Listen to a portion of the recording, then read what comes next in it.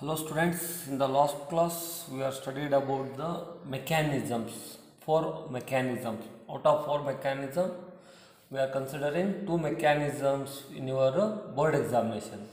Then next you consider the inorganic questions. That is manufactures, preparations.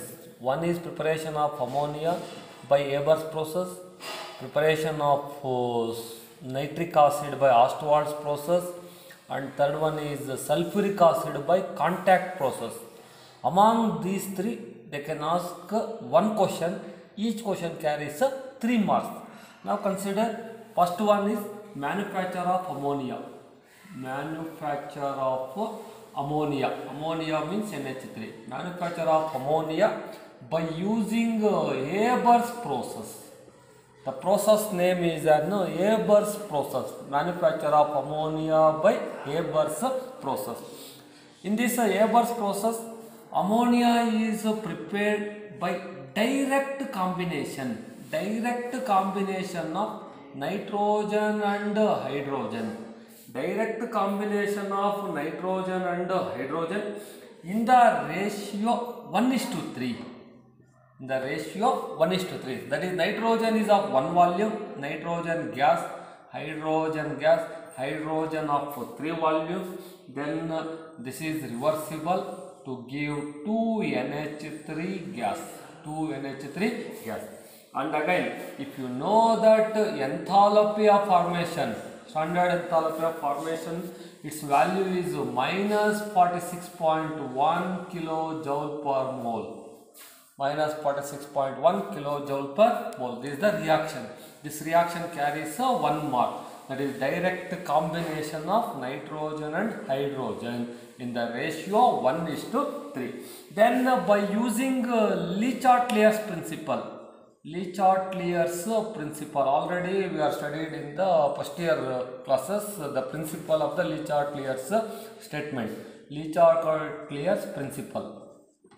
According to that Le Chatelier's principle, you have to write the favorable conditions for the formation of ammonia. Favorable conditions. One of the favorable condition is low temperature. Low temperature. The low temperature value of 700 Kelvin. Second favorable condition is high pressure. High pressure. High pressure value nearly of 200 atmosphere. 200 atmosphere. Then third one is iron oxide. Small amount of iron oxide. Mixture of iron oxide with a small amount of K2O and Al2O3 as the catalyst. This is the catalyst used in the Haber's process. Iron oxide and small amount of K2O and Al2O3 as the catalyst. If not possible to write this mixture, you can take iron as the catalyst, iron as the catalyst and molybdenum, molybdenum as the promoter, molybdenum as the promoter. This is also correct. In the Haber's process, iron is the catalyst used and molybdenum is the promoter used. Or according to NCERT syllabus, that in the Haber's process, the catalyst used is iron oxide, mixture of iron oxide and small amount of K2O and Al2O3 as the catalyst. These are the favorable conditions. In some time, they can ask, write any two favorable conditions for the manufacture of ammonia by Haber's process, then that carries two marks. Reaction carries one mark. In some, in, uh, in some cases, explain the manufacture of ammonia by Haber's process. Then you have to write the reaction that is N2 plus 3H2 gives 2NH3. Then by using Le Chatelier's principle, favorable conditions are low temperature 700 Kelvin, high pressure 200 atmosphere and iron oxide and uh, K2O and Al2O3 as the catalyst. Then you have to write the flow chart. Flow chart. This is the flow chart for the Haber's process. This flow chart carries one mark. In this flow chart, you have to write the labeled, labeled diagram. Without a label diagram, we will not give the marks. That is, first compound is nitrogen and hydrogen. Nitrogen and hydrogen they are passed through the compressor. In that compressor, we have to maintain 200 atmospheric pressure. Then the gases get compressed. That compressed gases they are allowed into the catalyst chamber, preheated catalyst chamber. That catalyst chamber maintained at 700 Kelvin containing iron oxide and a small amount of Al2O3 and K2O. This is the catalyst used in the Haber's process. From the catalyst chamber, that night that is in the catalyst chamber, nitrogen and hydrogen combine, they produce as the ammonia. The gases coming out of the catalyst chamber are mixture of ammonia and unreacted nitrogen and hydrogen. These gases then passed through the condenser. Condenser. Only ammonia get liquefied. Ammonia get liquefied. That is here we collect the liquid ammonia. Unliquefied nitrogen and hydrogen are present. They can be recirculated. They combine fresh gases. These unreacted nitrogen and hydrogen again they combines with fresh nitrogen and hydrogen in the catalyst chamber to form the ammonia. This is about the flow chart for the Haber's process. This flow chart carries the one mark. That is in the Haber's process first you have to write the reaction. N2 plus 3H2 N2 plus 3H2 that forms 2NH3 2NH3. This carries one mark. Then favorable condition. One is low temperature. Low temperature value 700 Kelvin. Then high pressure. High pressure value 200 atmosphere. Then catalyst. The catalyst used is the iron oxide. Iron oxide. Small amount of K2O and Al2O3. These uh, favorable conditions according to Le-Chatelier principle carries one mark. Then finally flowchart carries a one mark. This is about the ammonia by Haber's process. Practice this uh, reaction with the flowchart. Next you consider the nitric acid preparation by Ostwald's process. Second preparation is manufacture of nitric acid HNO3 by Ostwald's process. In majority papers, either they ask Haber's process or Ostwald's process. If you thorough with these two preparations, definitely you get the three marks. In this uh, Ostwald's process, the principle used is the catalytic oxidation. Catalytic oxidation of ammonia by atmospheric air. Catalytic oxidation of ammonia by atmospheric air by using platinum rhodium in the form of wire gauze as the catalyst. The catalyst used in the Ostwald's process is platinum rhodium. Platinum symbol PT. Rhodium symbol is RH. That platinum rhodium as the catalyst at a temperature of 500 Kelvin and 9 bar pressure. This is the first step. First step is catalytic oxidation of ammonia by atmospheric air by using platinum rhodium catalyst at 500 Kelvin and 9 bar pressure. For this one, consider the reaction NH3 ammonia atmospheric air O2 that results in the formation of nitric oxide NO liberating H2O liberating H2O. On the arrow mark, write platinum rhodium RH 500 Kelvin 9 bar pressure.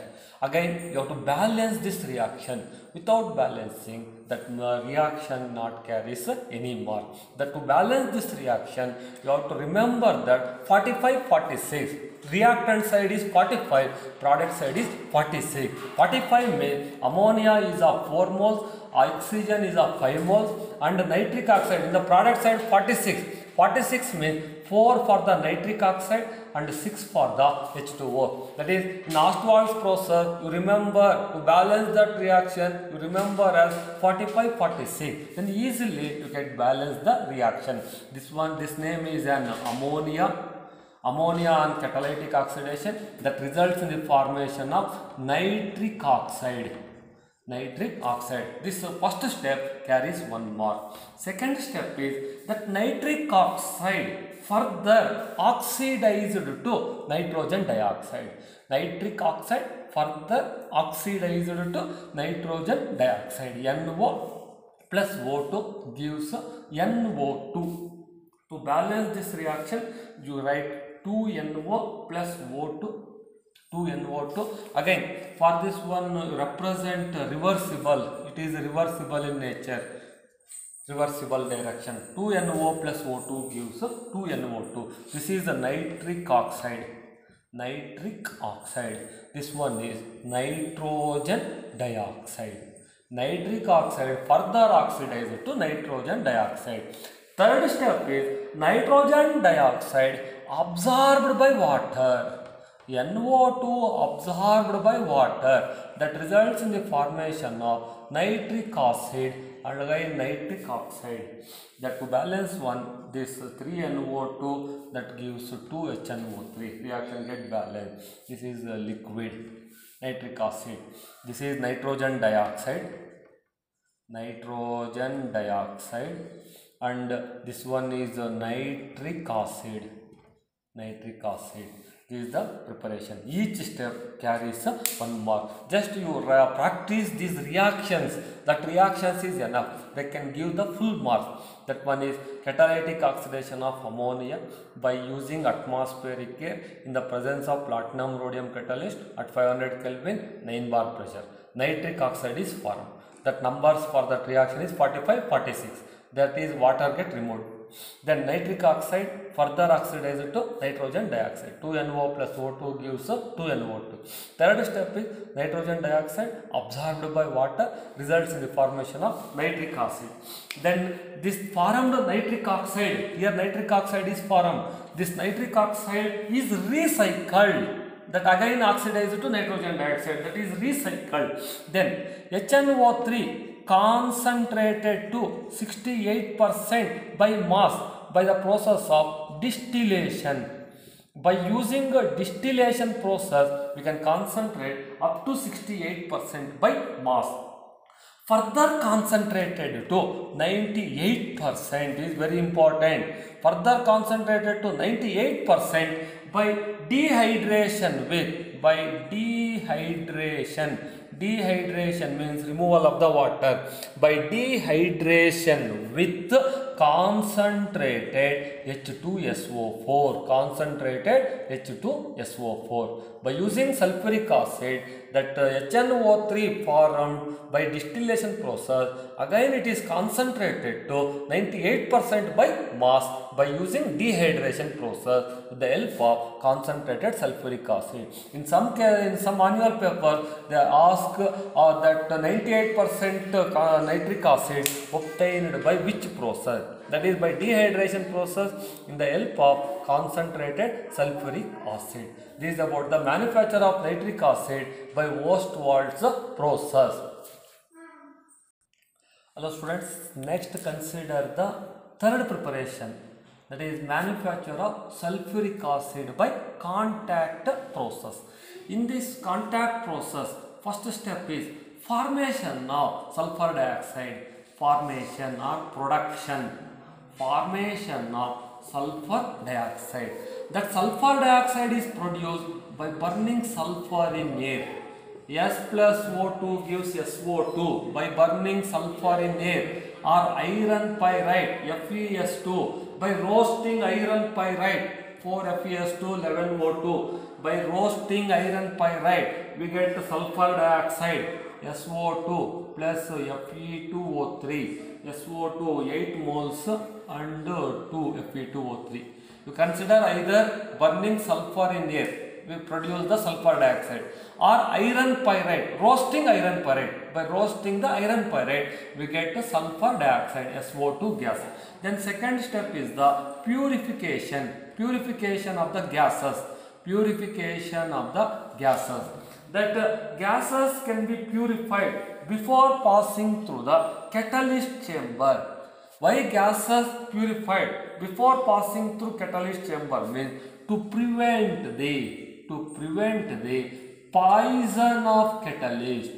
To prevent the poison of catalyst, the gases should be purified before passing through the catalyst chamber.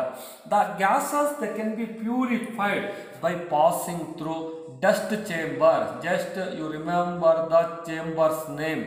First one is the dust chamber. Dust chamber.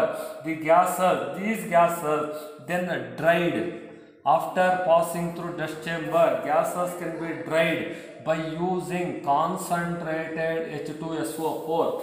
Then the dried gases, dried gases, dried gases are passed through the arsenic, arsenic purifier, arsenic purifier to remove the arsenic impurity to remove the arsenic impurity by using ferric hydroxide. Arsenic impurity can be removed by using ferric hydroxide. This is the purification. The gases can be purified by passing through dust chamber. Then gases can be dried by uh, using concentrated H2SO4. Dried gases then passed into the arsenic purifier where arsenic impurity can be removed with the help of ferric hydroxide. This arsenic impurity is the major catalytic poison. This is about the purification. Third, third step is the oxidation of sulfur dioxide. Oxidation of sulfur dioxide or formation of the sulfur trioxide. In this one, that uh, purified gases that is uh, SO2 and O2 sulfur dioxide and oxygen gas passed through the catalyst chamber.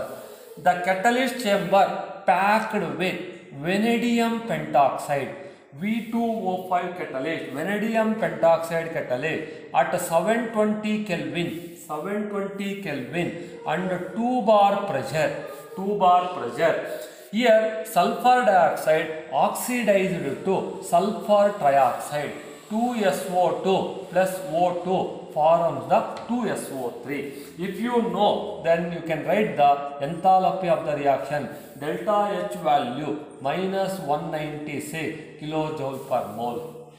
Is the enthalpy of the reaction. If you know the value, then only you write that value. Otherwise, just you write 2SO2 plus 2O2 gives 2SO3. The catalyst used is vanadium pentoxide at temperature of 720 Kelvin and 2 bar pressure. Then fourth step is the absorption of absorption of sulfur trioxide. Absorption of SO3 that formed sulfur trioxide in the catalyst chamber is absorbed by 98% H2SO4. 98% H2SO4 that results in the formation of H2S2O7. That H2S2O7 commonly called as the oleum. Oleum is formed.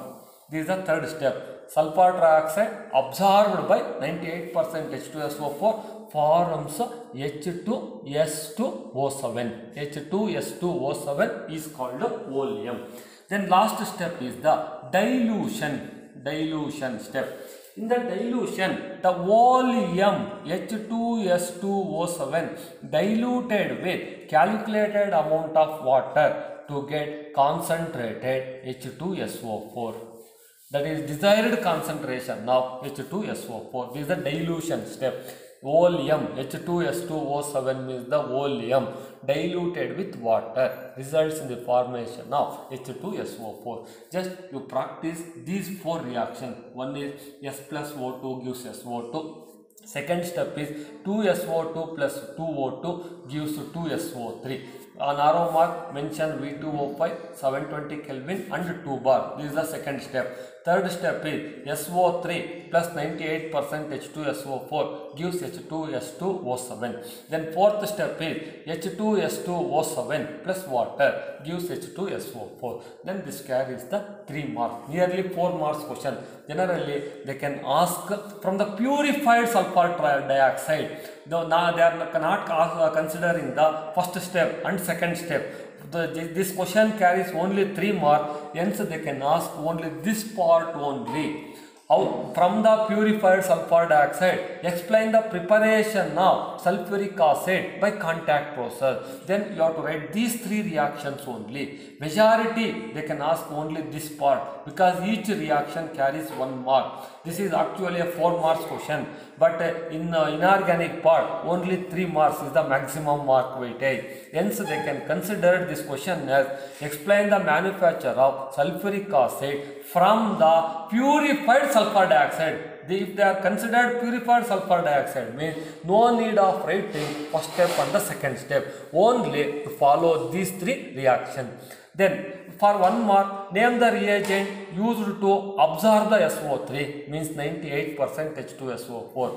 Again, this reaction generally used for the completing the equation. They are giving SO3 plus H2SO4, complete the equation. Then you have to write the product as H2S2O7. H2S2O7 is called a oleum. Again, for one mark for uh, competitive point, this is very important. SO3, SO3 not absorbed by water not absorbed by water. To the SO3, if you add water, directly you get H2SO4. But uh, SO3 not absorbed by the water, it not absorbed by the water. Why SO3 not absorbed by water? Mean if SO3 reacts with water, it forms the dense white fumes. Dense white fumes. Dense white fumes are formed. That dense white fumes are insoluble. Insoluble in water dense white fumes mean a, a cloudiness appears cloudiness dense white fumes cloudiness is formed um, that cloudiness is insoluble in water hence SO3 not absorbed by water to absorb SO3 you have to use only 98% of H2SO4 then the product is oleum H2S2O7 then you consider the flow chart for this contact process then last point is the flow chart. Flow chart for the contact process. In some cases, they can ask this flow chart for the three marks. Just you follow this uh, flow chart. In that flow chart, first one is the pyrite burner. Pyrite burner. That is sulfur burnt in this pyrite burner or iron pyrite. Will get sulfur dioxide. From the pyrite burner, the gases coming out are the sulfur dioxide. These sulfur dioxide are purified by using these different purifying chambers. One is the dust chamber. This one is the dust chamber. Then after that dust chamber, gases are dried by using concentrated H2SO4. Dried gases then passed into the arsenic purifier containing ferric hydroxide FeOH thrice ferric hydroxide then passed into the here in the arsenic purifier arsenic impurity is removed. Arsenic impurity is removed. In that arsenic purifier arsenic impurity removed by using ferric hydroxide. Then the gases passed into the Tyndall box. Tyndall box role is to check the purity of the gases by using a strong beam of light. Just to check the purity of the gases, we are using this Tyndall box. If the gases are impure, then again passed through the pyrite burner and gases are purified.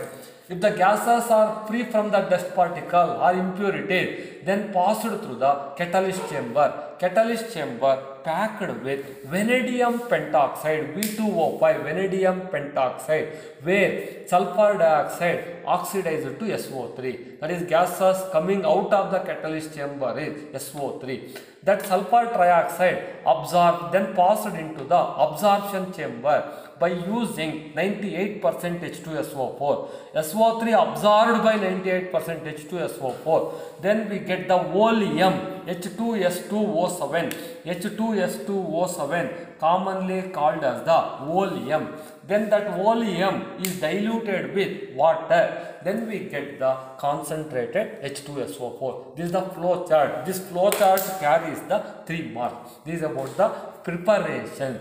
Among these uh, preparation that is one is ammonia by Haber's process second one is nitric acid by Ostwald's process third one is sulfuric acid by contact process. Out of these three definitely one question will considered in your annual examination. Practice these three preparations